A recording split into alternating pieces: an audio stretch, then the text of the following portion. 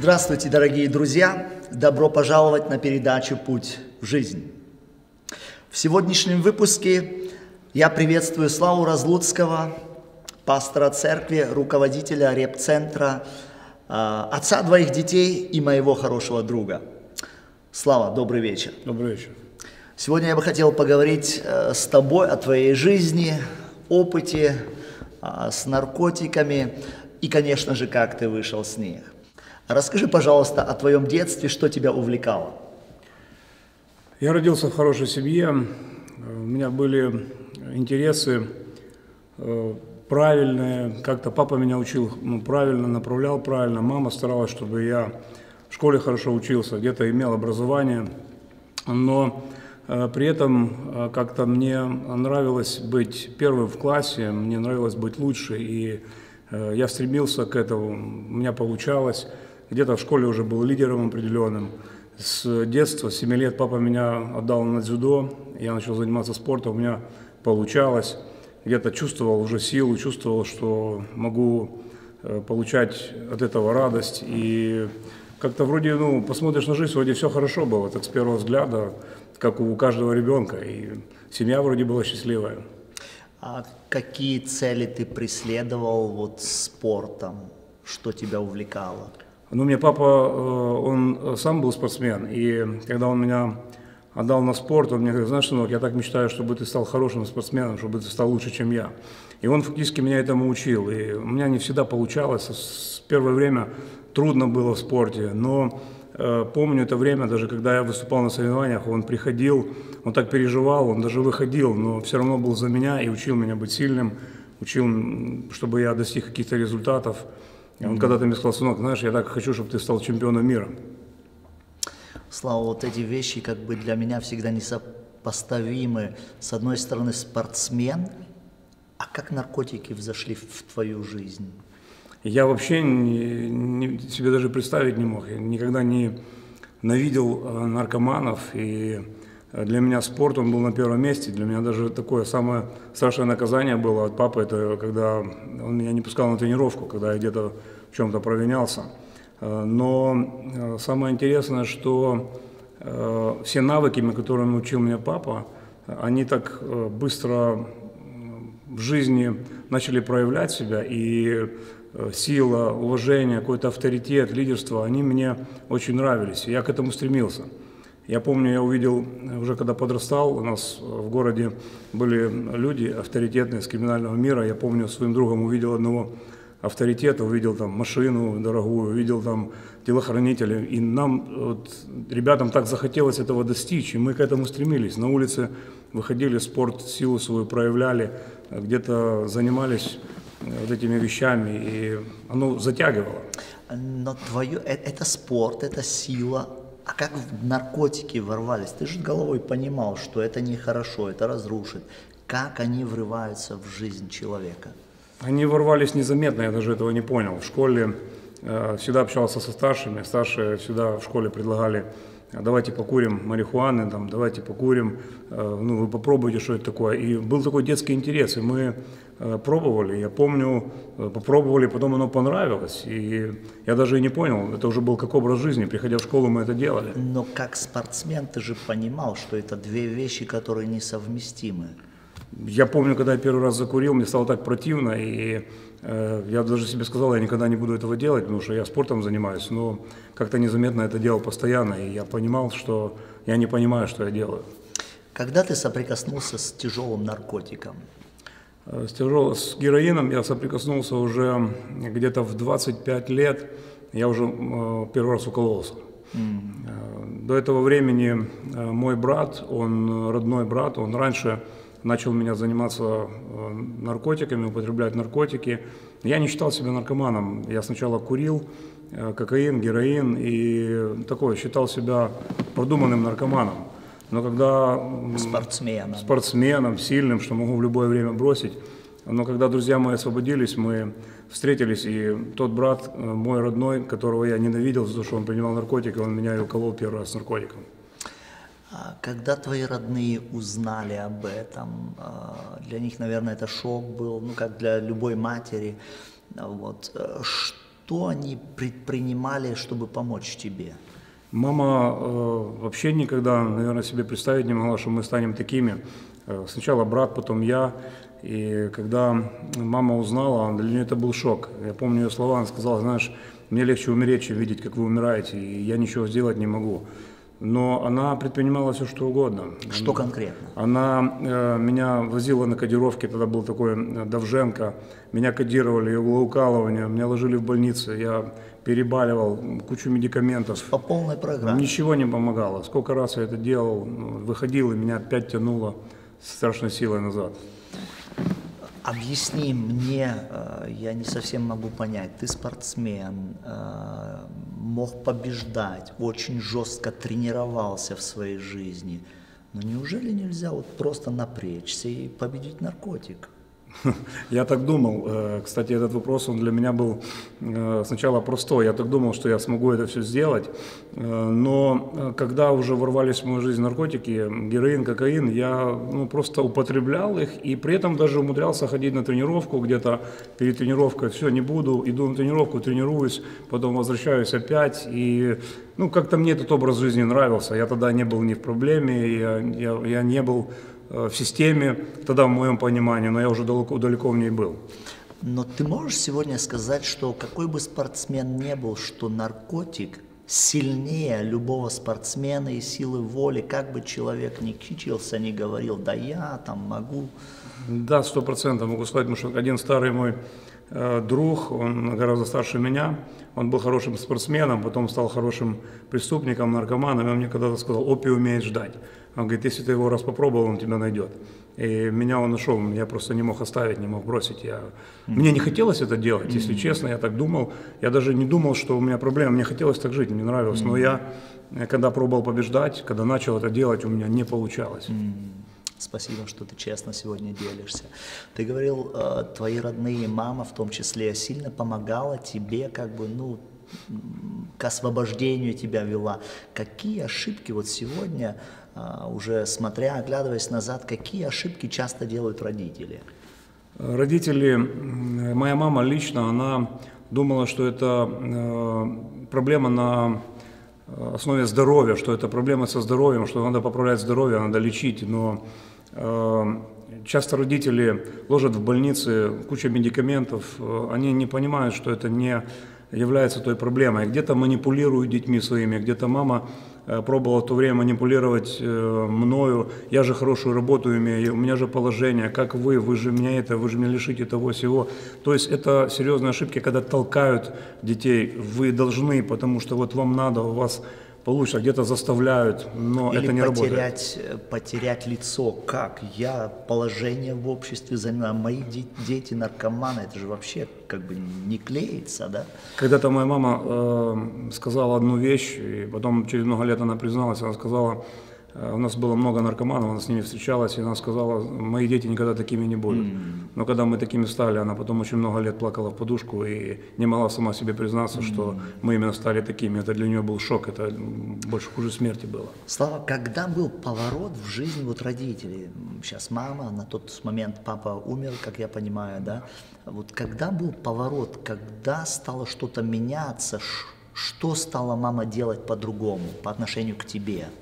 Для мамы был хороший толчок, это брат родной. Брат к этому времени уверовал и начал ходить э, в церковь и стал mm-hmm. за меня молиться. И просто как-то он для мамы был помощником. Да? Мама говорит, ты знаешь, ничего не поможет, только Бог поможет. Мама стала молиться вместе с ним. И когда они с братом объединились, начали молиться, мне стало хуже еще, мне еще стало, э, проблем стало больше. Сколько раз мог э, потерять жизнь, садили в тюрьму, и я был просто в ужасе. Я ненавидел брата, ненавидел за то, что он молится за меня. Не, не понял, в чем здесь помощь? Теперь мама не помогала, стала молиться, у тебя проблем больше. И в чем, в чем здесь... Для меня это тоже был парадокс, парадокс что э, родители как раз молятся, брат молится, но вроде бы должно помочь, и я где-то готов был это понять, но мне наоборот вроде как было хуже. Я даже mm. возненавидел, я брата своего ненавидел. Мама посреди нас, я на него просто кидался, говорил, я тебя ненавижу, уничтожить, если ты будешь это делать, мне еще хуже от твоих молитв.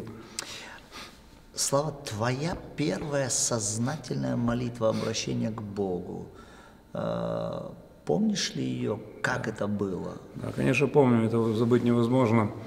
Я помню это время, когда я уже м, укололся в пах, я никогда э, не собирался это делать, даже перед пацанами говорил, я никогда этого не сделал. Но пришло время, когда у меня не было вен, уже я укололся в пах. грех заставил тебя Да, это сделать. просто э, вен не стало, и это был единственный вопрос, чтобы решить проблему с наркотиками, что было лучше. И когда я укололся, буквально на третьем уколе в пах у меня э, появилась очень серьезная гематома. И врачи мне сказали, что мне могут отрезать ногу в лучшем случае, в худшем случае э, просто я могу умереть. И там диодами мама водила к врачам, э, током пытались разбить, не получалось.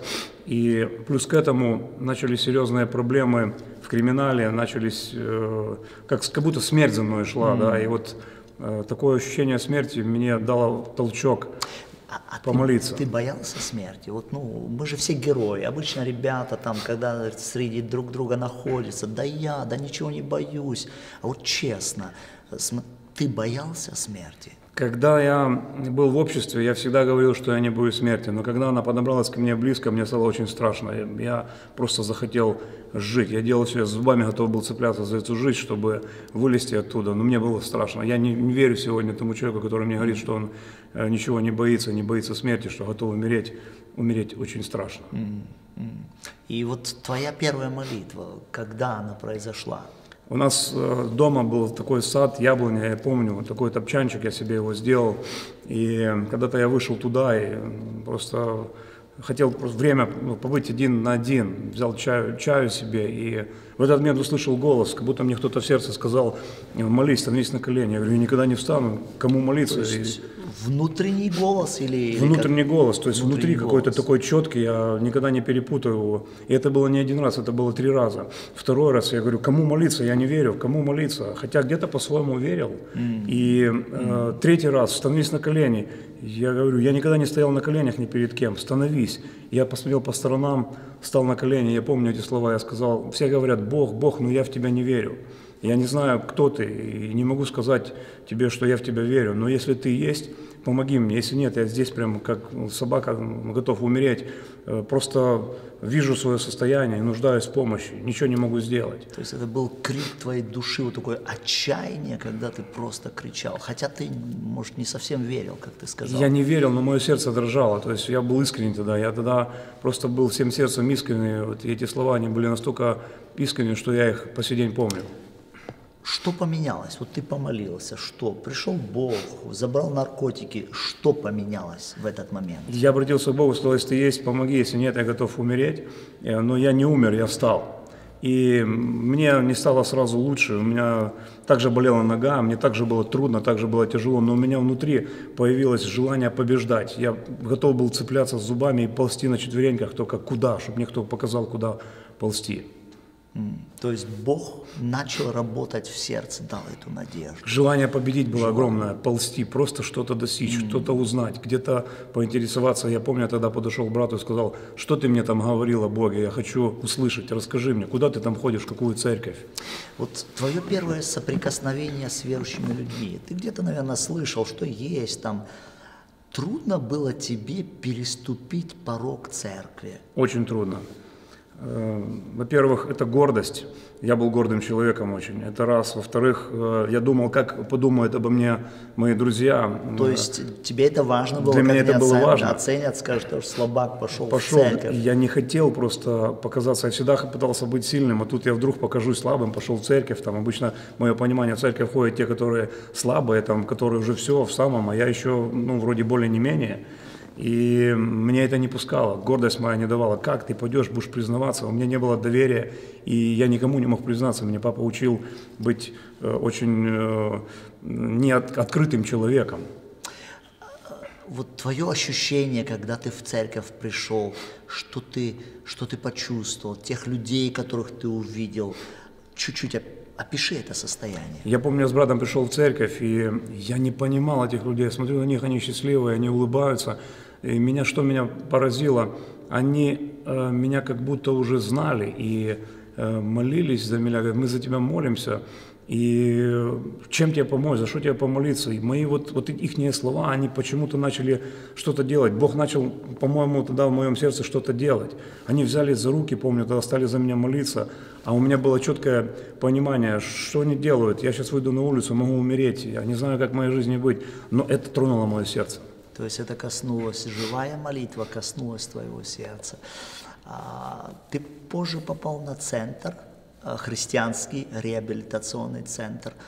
Расскажи, что, что он дает, что там происходит. Вот э, ты помнишь эти моменты, да. наверное? Э, поделись. Я с Одессы уехал. Брат очень сильно хотел, чтобы я уехал на центр, но э, мне не хотелось. Я, по сути, вообще не хотел никуда ехать. Я до последнего еще думал, что у меня получается, получится. Но у него был один знакомый, который э, был в центре в Остроге, э, куда я поехал, и он его пригласил к нам домой. Mm. Интересно, я никого не подпускал к себе в это время уже, только одного брата, он за меня молился. И вот когда он мне приехал, э, я говорю, ну садись, расскажи мне там, что ты там мне расскажешь. Он мне рассказал о центре, что там такие люди, как я, получают свободу. И у меня где-то ёкнуло сердце, мне захотелось поехать просто посмотреть. посмотреть. И когда я приехал туда на центр, я опять же встретил таких же людей.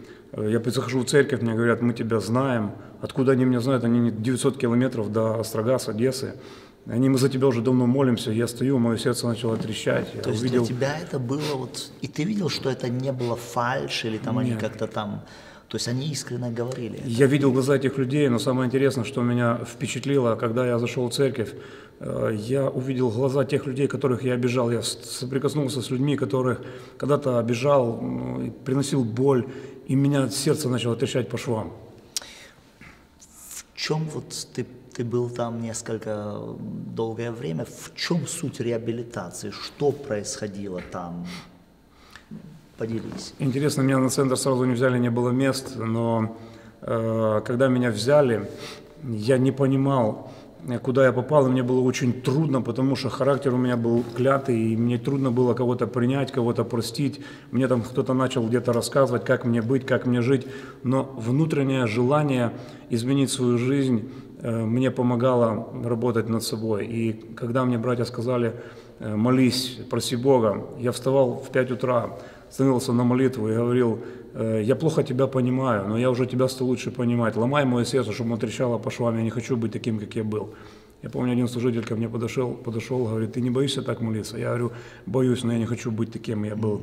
И Бог начал касаться меня, э, потому что мы постоянно читали Библию, постоянно пребывали в чтении, молились. Я учился это делать, и через Библию Бог э, коснулся моего сердца.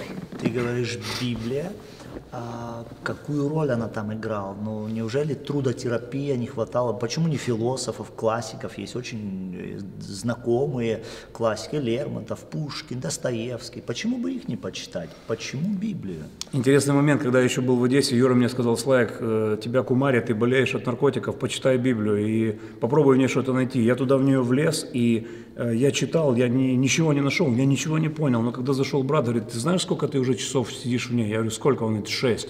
шесть и часов. меня не кумарило. Когда я приехал туда на центр, мы читали Библию, я ничего не понимал, я брал детскую, мы пытались понять, но она прикасалась к моему сердцу, она прикасалась, Бог что-то говорил, я начал видеть себя в Библии. Я вдруг один раз я прочитал одно место и вообще как остолбенел. Я, э, есть Библия, это место, оно меня очень Нет. сильно впечатлило. Это для меня был как толчок. Это в Якова написано в пятой главе, в шестом, в шестом, пятый, шестой стих. «Вы роскошествовали на земле и наслаждались, напитали сердца ваши, как бы на день заклания. Вы осудили, убили праведника, и он не противился вам». И когда я эти слова прочитал, я просто понял, что это я, тот человек, который распял праведника, невинного Э, Бога, о котором все говорили, в которого я сегодня хочу верить, но не могу поверить. И э, мое сердце начало плакать. Я просто понял, что я тот, кто должен был быть там, на кресте. То есть Бог конкретно проговорил в твое сердце. Это не было как-то, ну, там, какое-то мнение. Нет. Ты понял, Бог говорит. Я аж подпрыгнул, я говорю, спасибо тебе, Господи, что ты открылся мне. Я через это слово просто меня аж подкинуло. Я просто сокрушился, меня через это, через это место Писания Бог сокрушил. Многие люди говорят сегодня, ну вот Бог говорит, Как Бог говорит? Через что конкретно? Вот через что ты веришь, что Бог само больше говорит? Через какое средство? Я не просто это верю, я это почувствовал на себе через Писание. Я так же само в церкви сидел, большая церковь, я на заднем ряду в церкви сидел, когда уже был на реабилитации, уже после этого, когда мне Бог открыл э, себя, и вдруг мне Бог через проповедь пастыря говорит, ты тот грешник, ты тот, который распинал, тебе нужно покаяться, покайтесь.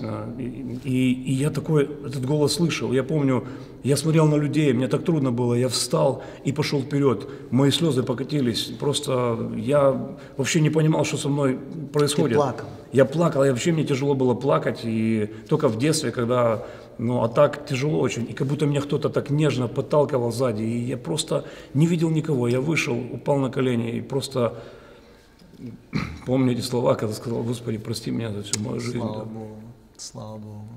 Слава, вот мы говорим, ну, вот на стадии, когда человек ищет Бога, а, пытается решить проблему, тебе Библия нужна была. А сейчас, ты уже все знаешь. Зачем тебе сейчас Библия? Какую роль она сейчас играет в твоей жизни? Она играет очень огромную роль в моей жизни, потому что я не могу сказать, что я э, знаю все. Я сейчас могу сказать, что когда я увидел Бога через Слово Божие, Иисуса Христа своим Спасителем, я сказал такие слова, я бы раньше бы за это платил бы большие деньги, чтобы сегодня набраться такой сегодня мудрости, которую дает Бог через свое Слово. И просто для меня это сегодня смысл жизни, это инструкция жизни, это любящее Слово, это воспитывающее Слово, это Слово, которое Слово меняет характер, потому что Слово это сам Бог, который, Бог Иисус Христос, который просто милует, который помиловал меня. Спасибо большое. Мы говорим, а, часто люди говорят, вот э, поверь, поверь в себя, поверь даже вот в какую-то силу. А, почему мы говорим, что Бог открылся в Иисусе Христе? Почему именно личность Иисуса Христа а, играет центральную роль в твоей жизни, в Библии? Вот. Я редко видел людей, которые могли умереть за кого-то, но Иисус Христос это мой Бог, который за меня умер, который за меня страдал, который э, простил мне все мои грехи. И я это сегодня явно вижу. Я сегодня это явно верю. Это не просто для меня иллюзия. Я это потрогал руками, я это ощутил на себе. Я знаю, как я жил. Э, я помню слова своей мамы. Она говорила, вас никто не изменит. Но сегодня, когда мама говорит, вас изменил Бог, это подтверждение от самого Бога для меня, что только Бог может, только Иисус Христос, который страдал и умер за меня. То есть для тебя личность Иисуса Христа это не просто какая-то мифология, интересный Нет. учитель. Для тебя, скажи еще вот словами, кто для тебя Иисус? Это мой Господин, это царь и Бог, это мой друг, к которому я могу прийти, которому могу рассказать много того, чего не могу рассказать другим. Это мой наставник, это мой папа, потому что я забыл, потерял давно отцовскую любовь, и я помню, когда-то молился, Господи, я знаю, что Твоя любовь больше, прикоснись ко мне. И когда ко мне Бог прикоснулся, она была гораздо больше, чем э, любовь отца. И я помню эти слезы, когда я обрадовался, я так рад, что сегодня я имею эту любовь Отца, который просто меня помиловал. Кто меня еще мог помиловать, кроме того Бога, который меня любит? Слава Богу. Слава, и последний вопрос. Чем ты сегодня занимаешься? Вот э, освободился от наркотиков, вот тогда ты можешь свою жизнь упаковывать, э, заботиться о семье, строить дом. Чем ты сегодня занимаешься? Я хотел освободиться, я хотел э, жить для себя, пробовать жить для себя, но Бог все планы разрушил. Мама часто говорила, сынок, у нас семейный бизнес, я хочу передать, хочу, чтобы ты это делал. Я приезжал домой, буквально на пару дней находился дома, и мама уже даже с ревностью говорила, все, езжай в свою церковь, езжай на свой центр. Меня туда тянуло, потому что там были точно такие же, как я, и мне хотелось помогать этим ребятам. Когда я видел, что они счастливы, я сам становился счастливым. И сегодня я просто очень благодарен, что я посвятил свою жизнь этим ребятам, ходил по тюрьмам, э, просто центр реабилитационный, который есть, он действительно большая милость, э, что Бог через центры, через Слово меняет людей. И я очень счастлив, что могу ходить просто и этим людям рассказывать об Иисусе Христе и помогать им жить и быть счастливыми. Спасибо большое. И я тебя уже знаю примерно 8 лет э, с того времени, как ты приехал в нашу церковь. И я хочу просто сказать, что Бог а, подтвердил, а, посылает тебя к нам в церковь, твое сердце любит Бога, ты любишь людей, ты посвятил свою жизнь. И э, слушая сегодня этот рассказ, я могу еще раз сказать, Бог велик, Бог велик. Иисус Христос говорит, я есть путь, истина и жизнь. Никто не приходит к Отцу, как только через меня. То, что мы сегодня видим, то, что не могли сделать э, ни врачи, ни мама, ни спорт, э, ни личные усилия, то сделал Иисус Христос в жизни славы. И мы сегодня восхищаемся Богом, который э, может спасать реально. И не просто от наркотиков, а от бессмыслия. Сегодня Бог может пере, переориентировать жизнь и дать новый смысл. И мы сегодня увидели это в жизни славы. Я хочу сегодня поблагодарить Бога, то, что Он сделал в твоей жизни, это Его почерк. Так Он милует, так Он спасает. Друг дорогой, может быть, ты также находишься в тупике, может, ты спортсмен и э, считаешь себя очень крутым, но грех давно владел твоей жизнью. Может, твоя семья разбита, твое здоровье разбито, а ты все еще говоришь, да ладно, я как-то смогу. Будь честен.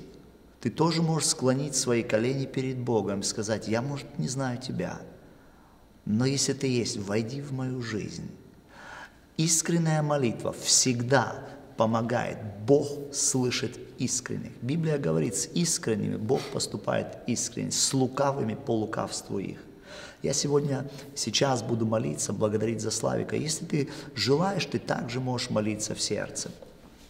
Господь Иисус, сегодня я преклоняюсь пред Тобой и славлю Твое святое имя, потому что только Ты можешь так спасать, менять и давать смысл в жизни – и сегодня я поклоняюсь Тебе, благодарю Тебя за жизнь, которую Ты подарил Славы, что Ты подарил ему семью, что сегодня он может служить на центре, быть пастором и помогать людям, которые также еще ищут Тебя. Я прошу Тебя сегодня за тех, кто смотрит нас, чтобы Ты прикасался, Ты знаешь, чьи семьи сегодня разрушены, здоровье, и, может быть, маленькая сигарета держит больших людей, они не могут освободиться. Господи, дай смирение склонить свои колени и признать, и попросить помощи у Тебя, потому что выход Иисус Христос в Тебе. Аминь. Аминь. Друзья дорогие, это была программа «Путь в жизнь». Если у вас есть вопросы, и вы хотите нам написать или позвонить, вы можете обращаться к нам. Пусть Бог благословит вас. До свидания, до следующей встречи.